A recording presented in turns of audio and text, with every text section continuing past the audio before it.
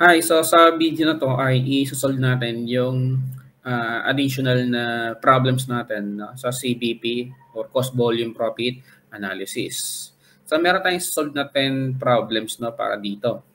Okay, so simulan na natin no sa number 1. A company manufactures a single product. Estimated cost data regarding this product and other information for the product and the company are as follows. Given selling price 40 pesos, total variable production cost per unit 22, sales commission on sales 5%. Fixed cost and expenses, manufacturing overhead 5,598,720, general and administrative 3,732,480. Effective income tax rate 40%. So ang requirement sa problem ay yung computation ng number of units no, the company must sell in the coming year in order to reach its break-even point. So, ang kinocompute natin dito ay yung break-even point in units. Na alam na, na natin, no, kapag break-even point in units ay total fixed cost lang yan, no, divided by contribution margin per unit. Sa problem, uh, ito yung mga given natin, no? meron tayong total fixed cost na 5,598,720 for manufacturing overhead. Kasi add lang natin yung fixed general and administrative cost. At i-divide natin yan sa CM per unit na ang computation ay 40 pesos na selling price. Ililes natin yung 22 pesos na total variable production cost per unit Saka yung variable selling and administrative, no? yung sales commission na 5% ng sales. 40 pesos times 5%. Okay? So, ulitin lang natin. Sa total fixed cost, meron tayong total manu uh, total manufacturing overhead no for fixed. Okay? Fixed manufacturing overhead. Fixed general and administrative. Okay? Yan ang magiging total fixed cost natin. Pinagsamang amount na yan. Yung mga amount natin. Divided by contribution margin per unit na ang computation ay 40 pesos na selling price, 22 pesos na variable production cost, less yung commission, variable commission na 5% ng 40 pesos. Okay? Tapos kukunin natin yung total fixed cost, yung total ng 5598720 saka 3732480 ay 9,331,200 divided by 16 pesos. Okay? Kaya magiging sagot ay 583,200 units. So, ito yung sagot natin for number 1, letter C, 583,200. Yung required number of units the company must sell no, to break even. Yan yung break even point in units. Next problem. So, for number 2, Merchandisers Incorporated sells product O to retailers for 200 pesos. The unit variable cost is 40 pesos with a selling commission of 10%. Fixed manufacturing cost total 1 million pesos per month, while fixed selling and administrative cost total 420,000. The income tax rate is 30%. Okay, so ang requirement natin dito ay the target sales if after tax income is 123,200. Okay? So, uh, pag tungkol sa profit planning, no, ang ginagawa natin dito, syempre meron tayong target na profit dito, pero inaalam natin ano yung required no, na sales para ma-achieve natin yung profit na yan. Okay? Kaya normally, no, talagang pabaliktad na nagiging solution natin dito. Nagsisimula tayo sa pinakababa, yung profit after tax o kaya profit before tax, depende kung anong given, at aakit tayo. At least papunta man lang sa contribution margin muna para makuha natin yung required number of units. At kung sakaling hingiin yung amount ng sales, iakit pa tayo ng konti na para makuha natin yung sales. Okay? So magiging solution natin dito ay, siyempre, parang gagawa lang tayo ng pro forma income statement, kaya magsisimula tayo sa sales ililes natin yung variable cost of goods sold. Bakit ko pa pinadaan sa variable cost of goods sold, hindi na lang sa variable cost? Kasi nga, pinaghiwalay natin dito yung 40 pesos no, na variable cost tapos meron pang commission na 10%. Okay? Yung tinutukoy natin na variable cost dyan ay yung variable production cost. less natin yung variable selling and administrative, yan, yan nga yung, 20, uh, yung 10% na sinasabi ng commission, at magkakaroon tayo ng contribution margin. Tapos, ililess natin yung fixed cost. At ang fixed cost na makikita natin dito, yung 1 million na fixed manufacturing cost, saka 420,000 na fixed selling and administrative. Equals profit before tax, yung PBT, no? Profit before tax. Okay, kaya lang dahil may pinag-usapan tayo dito na after tax na income, ibig sabihin dapat yung profit before tax magiging profit after tax pa yan. Kaya from profit before tax, ililes pa natin yung tax para makuha natin yung profit after tax. At sa problem, binigay ni profit after tax na 123,200. Kaya aakyat tayo ngayon. Paano tayo aakyat dyan? Hindi nyo na kailangan alamin pa magkano yung tax. Hindi na kailangan alamin pa kung magkano yung tax na yan. Pag umakyat ka, pupunta ka lang dito muna sa profit before tax. At tanong, no, paano na ko yung 176,000 na yan? Okay? Ang gagawin nyo lang, i-divide nyo lang sa 70% tong 123,200 na profit after tax. Kasi nga, meron tayong tax rate na 30%. So sa ngayon, meron na tayong 176,000 na profit before tax. Okay? Eh, kailangan pa natin umakyat, no? At least kasi kailangan muna natin pumunta sa contribution margin, eh. Kukunin muna natin yung fixed cost na pagsamahin natin yung binigay dyan sa tax na 1 million per month na fixed manufacturing cost saka for 20,000 na fixed selling and administrative costs or 1,420,000. So sa ngayon, dahil meron ka ng profit before tax na 176,000 saka fixed cost na 1,420,000, magkakaroon ka na ngayon ng contribution margin na 1,596,000. At dyan, kaya mo nang makuha ngayon yung required number of units no? Para ma-earn yung 123,200 na profit after tax. Kasi alam naman natin na pare-pareho lang naman ang magiging galaw ng mga to no? From sales hanggang variable selling and administrative hanggang kay contribution margin okay? Kaya ang gagawin lang natin diyan i-redivide lang natin siya sa contribution margin per unit. At paano ma-compute yan Okay, magsisimula tayo sa selling price na binigay na 200 dito. Ililes lang natin yung mga variable costs. Unahin na natin yung variable production cost na 40. Tapos less pa natin yung 10% na commission. Na ang commission, di ba, lagi naman binibisan sa sales. Kaya yan, 200 times 10%. So, ang magiging resulting uh, required number of units dyan ay 11,400 units. Okay? So next question or next problem ay yung sa number 3. Okay? About profit planning pa rin to. Kadalasan lang pag mga profit planning ay baliktad talaga naging solution, no? Nagsisimula tayo sa pinakababa, no? Paakyat. Number 3. NCB Incorporated manufactures computer tables. It has an investment of 1,750,000 in assets and expects a 25% return on investment. Okay, so actually itong return on investment ay makikita natin yan no, sa financial statement analysis saka doon sa responsibility accounting. Ang return on investment ay yung ay ratio ng profit doon sa investment. Kaya siya tinawag na return on investment. Okay?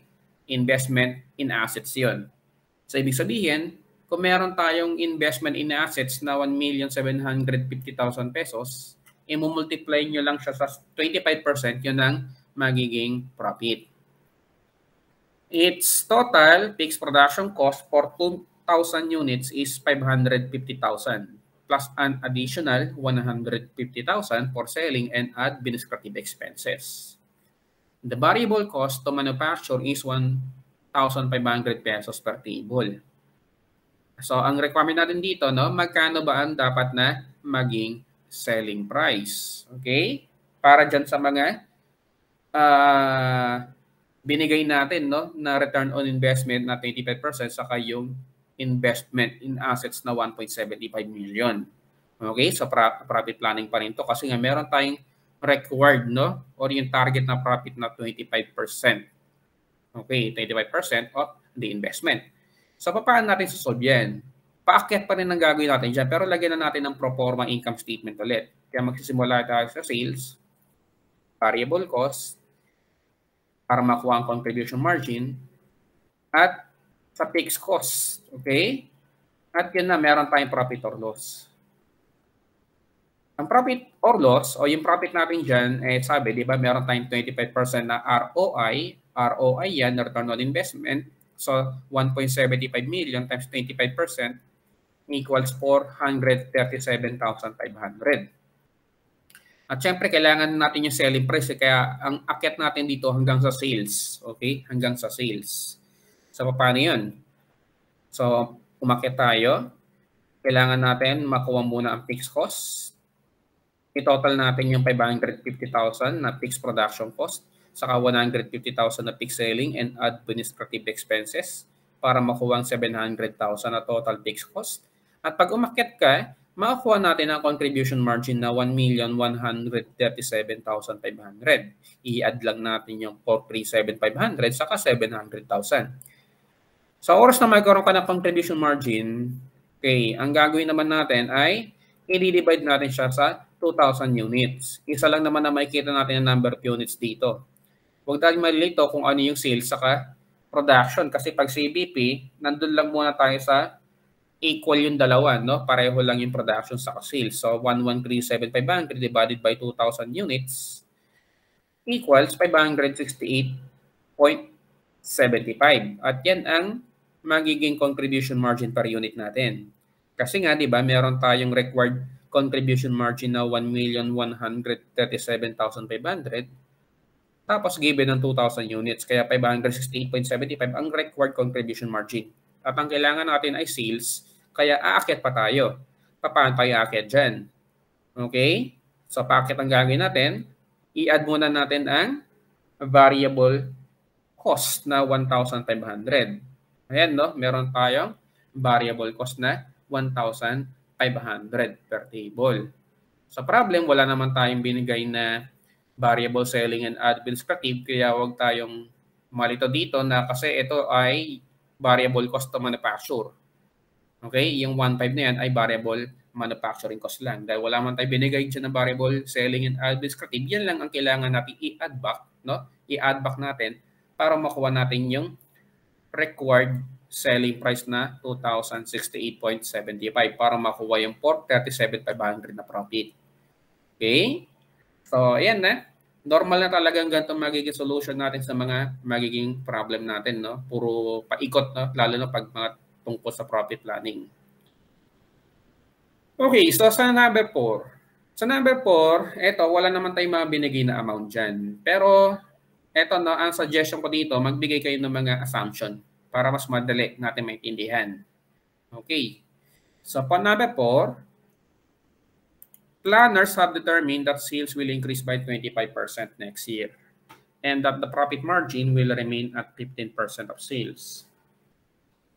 Which of the following statements is correct? So, ang sinagot natin dito ay A, profit will grow by 25%. Napatunayan lang natin yan. Maglagay lang tayo ng mga assumption dito. So, inonote natin na all amounts are assumed. No? Paano ba yan? Okay, so maglagay lang ulit tayo ng pro forma income statement dito. Magsimula tayo sa sales. For example, ang sales natin ay 100 pesos. Variable cost, contribution margin, hindi na natin nilagay yan kasi nga ang binigay lang naman ay profit margin. Pag sinabing profit margin, parang return on sales lang yan na ito ang ratio ng profit sa sales. Ilang percent ang profit ng sales? Yun ang profit margin. So balik tayo dito, meron tayong contribution margin, tapos may fixed cost. Yan ang profit or loss, 15%. 15% of sales yan. At kung meron tayong 15% na return on sales or profit margin, ang equivalent amount niyan ay 15 pesos. Diba? 100 times 15% equals 15 pesos. At meron tayong mga binigay dyan sa problem na increase sa sales na 25%. Kaya etong column na rin na to na 100 hanggang 15 pesos ay ito yung before increase na 25% sa sales. Kaya maglalagay tayo ng after 25% increase. So, i-multiply natin ng 125% tong 100 na selling price para makuha natin yung sales after the 25% increase. At kung meron tayong 125 na sales after increase, kukunin lang ulit natin yung 15% kasi ang sabi, the profit margin will remain at 15%. So 125 pesos lang yan times 15% equals 18.75. Ang tinatanong natin dito, which of the following statements is correct? Bakit naging tama tong profit will grow by 25%? I-compare lang natin from 15 to 18.75, magkakaroon tayo ng 3.75 na increase. At ang 3.75 pesos na increase na yan ay equivalent sa 25% na increase. Di ba? 3.75 divided by 15. 15 kasi yung pinanggalingan, no? Yan ang ginagamit natin para makompute natin mismong percentage. Kaya sagot natin dyan ay A, 25% increase. Okay, so uh, number 5 na tayo. A company is concerned about its operating performance as summarized below. Given sales 12.5 per unit, 300,000. Variable cost 180,000. Net operating loss 40,000. How many additional units should have been sold in order for the company to break even? Ito ay example ng incremental analysis. No? So ang tanong natin dito ay additional units minsan no, yung problem ay nagbibigay ng sagot na equivalent sa mismong break-even point. Mali yun. Ang tinatanong ay yung incremental units. Okay? Ano lang idadagdag natin sa benta natin para makuha natin yung required break-even point. Sige, no? Simulan natin. Bale, kunin muna natin yung contribution margin, yung current, no? Na 300,000 less 180,000 na variable cost. 300,000 na sales less 180,000 na variable cost equals 120,000. Okay. Sa 120,000 na yan, meron tayong net loss na 40,000. Ito at, tingnan natin yung mga data natin dito. Kasi actually, pag kinumpleto mo yan, meron kang contribution margin na 120,000 at 160,000 na fixed cost. Kasi nga, meron kang 40,000 na net loss. Okay? So kinuha ko muna ang contribution margin, yung current contribution margin ng 120,000. Tapos, ano ang contribution margin to break even? Yung required contribution margin to break even. Kasi nga, pinag-uusapan natin dito yung break even point, no? yung additional units para magkaroon ng break even. So from current contribution margin ng 120,000, at ulitin ko lang yung 120,000 na yan, ay meron tayong net loss na 40. So ibig sabihin, para magkaroon ng break even point, dadagdagan natin yung contribution margin. Okay? Ng 40,000 para ma-offset, 'di ba, yung net loss. Kaya ang gagawin natin yung kanina na 120, mag-add ka lang ng 40 at ang required contribution margin to break even ay 160,000. Okay? Ang tanong muna natin, ilang units ang dapat na ibenta natin para sa 160,000 na yan? I-divide lang natin siya sa contribution margin per unit. Kasi nakuha na natin yung total. At ang contribution margin per unit, yan yung kaninang 120,000 na contribution margin, i-divide lang natin yan sa 24,000 units. Ang tanong, saan ba nakuha yung 24,000 na yan? Ito yon. Meron kasi tayong 300,000 pesos na selling price. Actually kasi makukuha mo lang yan sa selling, sa sales, no? Kasi nga, yun ang kompletong data dyan merong given na total sales, merong given na selling price per unit na 12.5. Kaya 300,000 divided by 12.5, meron tayong 24,000 units. At sa 24,000 units na yan, ang nangyari ay net loss. Okay? Meron tayong net loss na 40,000. So balik tayo dyan. Yung contribution margin na required to break even, mag-add ka lang ng 40,000 para makuha natin yung 160,000. Okay? Tapos i-divide natin yan sa contribution margin per unit na ang magiging computation ay yung current contribution margin na 120,000 divided by 24,000 units na kinumpit natin no? Sa 300,000 divided by 12.5. Okay? So ang resulting contribution margin per unit ay 5 pesos. 160,000 divided by 5 pesos, yan ang magiging required number of units to break even. Sa number 5, may sagot ka na dapat siya pag, pag tumingin ka sa 32,000. Okay? Letter D dapat ang magiging sagot. Pero hindi yan ang tanong natin. Ang tanong natin ay additional units. Ang 32,000 tama yan. Kung ang tanong ay yung break-even point. Okay? So ang gagawin natin, ang tanong, ano yung idadagdag natin? Ano ba yung present? No? Ano ba yung present sales? Di ba 24,000? Meron tayong 32,000 na break-even point. So magdadagdag ka ng 8,000. Okay? So ang solution ay i-compare lang yan sa current number of units na 24,000 at makakuha natin yung sagot na additional number of units na 8,000. Okay? So solve na tayo dyan no, for number 5. Number six, about margin of safety naman.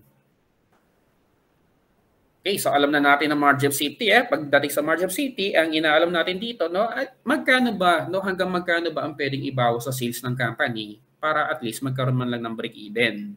Okay? So, sa problem, product has sales of 200,000 pesos, a contribution margin of 20%, and a margin of safety of 80,000. So question, what is Kurt's fixed cost?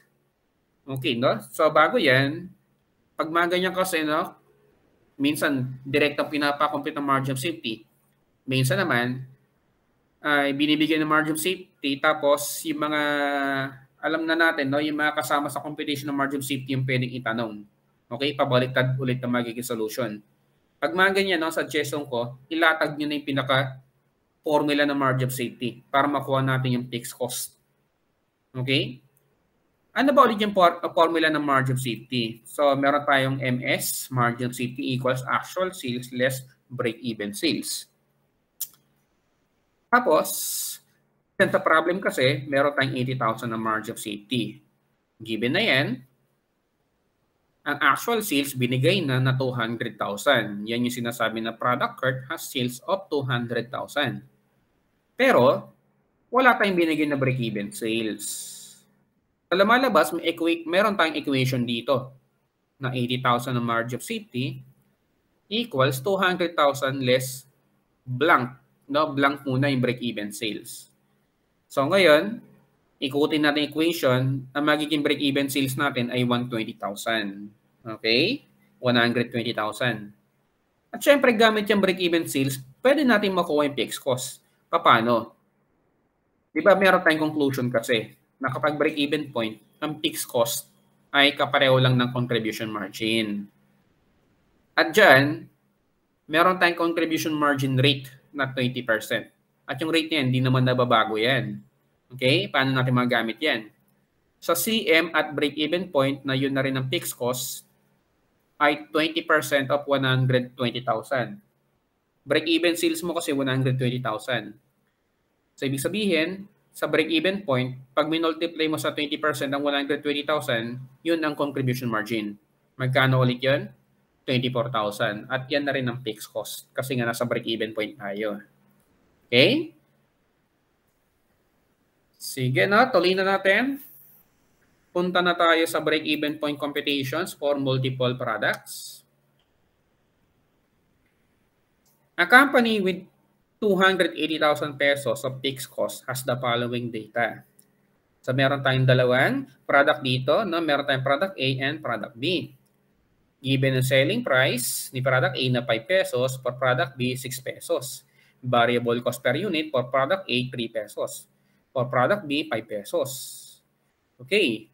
So pag mga multiple product ka, hindi natin pwedeng gamitin ng usual na formula natin to compute break-even point kasi nga meron tayong two or more contribution margin. Okay?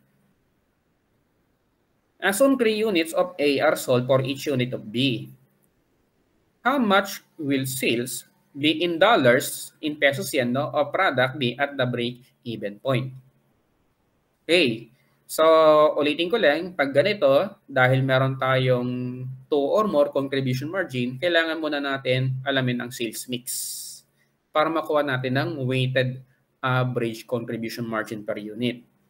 Okay, so paano ulit yung magiging formula natin para dyan? Alamin muna natin ang break-even point in units. Ang, ang kinukuha kasi natin dito ay break-even point in pesos. Ni product B, ah, ni product B. Pero syempre, bago ka pumunta doon, dadaan ka muna sa break-even point in units. At ang break-even point in units no, for multiple products, ang gagawin niyo muna ay kukunin ng weighted average contribution margin per unit. Kaya ang pinaka-formula natin dyan ay total fixed cost divided by weighted average contribution margin per unit. So, ang total fixed cost ay 280,000. Tapos, ang WACM per unit natin dyan, yung weighted average contribution margin per unit, bali, average natin yung dalawang contribution margin per unit. Kay product A kasi merong 2 pesos. Di ba? may 5 pesos siyang selling price, 3 pesos na variable cost. Okay. Tapos yung 2 pesos niya na CM per unit, i-multiply natin sa sales mix ng product A. Ha? Anong sales mix dito? Ito yon. Assume 3 units of A are sold for each unit of B. Bali, ang ratio nila ay 3 to 1. Siyempre, ang gagawin natin, eh, kukunin natin yung pinaka-fraction nila. So, lumalabas, kung 3 to 1 yan, meron tayong 3 ports for product A. Kaya 2 pesos times 3 ports yan. I-add natin yung kay product B naman na 1 peso kasi 6 minus 1 yan times 1 port naman. No? 1 port ang sales mix niya. Okay? Ang mangyayari, 280,000 na fixed cost divided by 1.5 plus 0.25 equals 280,000 na total fixed cost divided by 1.75. Kaya magiging break-even point in units natin ay 160,000. Okay. Yung 160,000 na yan ay ito ang pinagsamang break-even point in units ni A and B. Ang focus lang natin dito kay, ay kay B. Ilang units ang kailangan nating ibenta para ma-break even, no? So, ilang units ni B ang kailangan natin ibenta para magkaroon ng break-even point? 160,000 units na pinagsamang break-even point ng dalawang product, i-multiply muna natin yan sa sales mix ni B na 1 port. Kasi nga, ang kailangan natin malaman, yung kay B. So, 160,000 times 1 port equals for 40,000 units. Yan ang break-even point in units ni B. Pero ang tinatanong, magkano yung peso sales ng 40,000 na yan? E di gagawin lang natin ay i-multiply lang siya sa selling price ni B na 6 pesos. At ang magiging sagot ay 240,000 pesos. Okay? So, okay na tayo na for number 7. Ituloy na natin sa 8 and 9. Okay?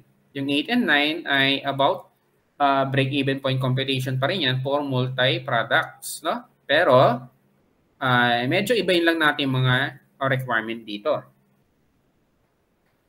A company sells two products, X and Y. The sales mix consists of a composite unit of two units of X for every 5 units of Y. So, meron silang ratio na 2 is to 5. Kaya mangyari dyan, ang sales mix nila ay si X 2 over 7 tapos si y naman 5 over 7, 'di ba? 'Yun ang magiging sales mix nila. Pagsasamahin mo lang yung mga numerator, no, para makuha yung mga denominator natin diyan na 2 over na 7, no? So 2 over 7 saka 5 over 7 ang magiging sales mix. Fixed costs are 49,500. The unit contribution margins for X and Y are 2.5 and 1.2 respectively. Ayan, no? binigay na natin dyan yung mga contribution margin per unit. Nandiyan na rin yung sales mix. Kaya kukunin na natin, no? Una, yung tinatawag natin na break-even point in units. Nababalik pa rin tayo sa formula na break-even point in units equals total fixed cost divided by weighted average contribution margin per unit. At ang total fixed cost na binigay sa problem ay 49,500. I-divide natin yan sa, kukomputin natin na WACM per unit. 2.5 kay X, i-multiply natin sa sales mix niya. Okay?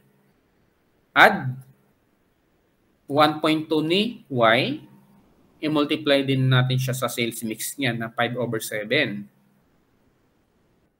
So, magiging 49,500 na total fixed cost divided by 1.5714. Yan ang WACM per unit natin. At ang magiging sagot ay 31,500 units. Etong 31,500 units, yan yung parang sabihin na natin combined break-even point no ni X and Y. Ang tinatanong natin dito ay yung composite units to break-even. Paano ba kinukumpit yan? Gantong gagawin. Yung combined break-even point in units, i-divide nyo lang yan sa denominator na ginamit natin sa dalawa. Ayan. Okay? Yung 7. So, ayan eh. Ganyan ang gagawin natin. Yan ang composite units to break even. At ang magiging sagot ay 4,500 units. Okay? So, pakinote na lang no, kung paano natin kinumpit yung composite units to break even. Okay, so next question, no? Sa same na problem. Number 9 tayo. If the company had a profit of 22,000, the units sales must have been, so magkakaroon tayo ng profit planning pero multi-product companies. So asahan natin na magiging pabalik na naman ng solution natin dyan. Bale, ilagay na natin yung proforma income statement, contribution margin less fixed cost equals profit or loss, na ang profit ay binigay na, 22,000. Okay? Nandyan na ang 22,000 na yan. At akit lang tayo.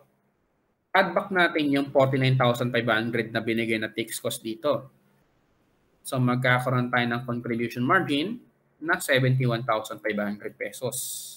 Yan ang record contribution margin para ma-earn natin ng 22,000 na profit. At ang gagawin nyo lang, i-divide nyo lang yan sa weighted average contribution margin per unit. Okay, ganun pa rin. Pero dito, ipandi-divide natin yung weighted average kasi ang 71,500 na yan ay pinagsamang contribution margin ng dalawang product, sina X and Y. Kaya dapat, pag dinivide natin yan sa, sa, sa CM per unit, gamitin natin ang weighted average contribution margin per unit. At makukuha natin yung 45,500. Ang tanong, magkan ilang units dyan ang kay X, ilang units dyan ang kay Y. Di ba? Yan kasi tanong natin eh. Okay? Ang sinagot nga natin dito ay 13,000 saka 32,500. Pero ang pinagsama nila ay 45,500, no? So, paano kukunin yung 13,000 saka 32,500? Ang gagawin nyo lang, i-multiply lang yan sa mga sales mix nila. Bali, 45,500 times 2 over 7 for product X equals 13,000. For product Y naman, 45,500 times 5 over 7 equals 32,500. Okay, so yan ang sagot natin no, for number 9, letter B. So last item para sa quizzer na to ay about indifference point. Okay? So, solve na natin. Number 10, Wheels Corporation employs 45 sales personnel to market its sedan cars. The average car sells for 690,000 pesos and a 6% commission is paid to the salesperson. It is considering changing the scheme to a commission arrangement that would pay each person a package of 30,000 plus a commission of 2% of the sales made by the person. The amount of total monthly car sales at which Wills Corporation would be indifferent So answer may be rounded up as to which plan to select is Okay, so ganito. So sa indifference point, meron tayong parent, no? Tapos meron tayong proposal. So ang current natin dyan, no, pagdating ulit kasi sa mga pasahod yan eh. Dati kasi, meron tayong 6% commission. Okay? Purely variable lang yan. Pag walang benta, walang commission. Eh ngayon, babaguhin natin. From 6%, gagawin na lang natin 2% pero meron silang fixed na 30,000. Okay? So, ang gagawin natin ulit, ang indifference point, gagawa tayo ng equation dito, di ba? So, sa current, meron tayong 6%, dapat kapareho lang siya netong 30,000 plus 2% ng sales. Kaya ang inaalam natin dito, ano yung ilalagay natin sa sales na yan. So mangyari, pagsamahin lang natin yung dalawang percentage, 6% less 2% equals 4%, equals 30,000. So ang magiging sales ay 750,000. Hindi pa yun ang sagot natin kasi ang tanong natin dito ay total monthly car sales. Okay? Etong 750,000, ito lang ang record sales ng isang sales personnel. Okay? Eh, meron tayong 45. Kaya alam na natin kung anong gagawin. E, multiply lang natin yan sa 45, yung 750,000, para makuha natin yung 33,750,000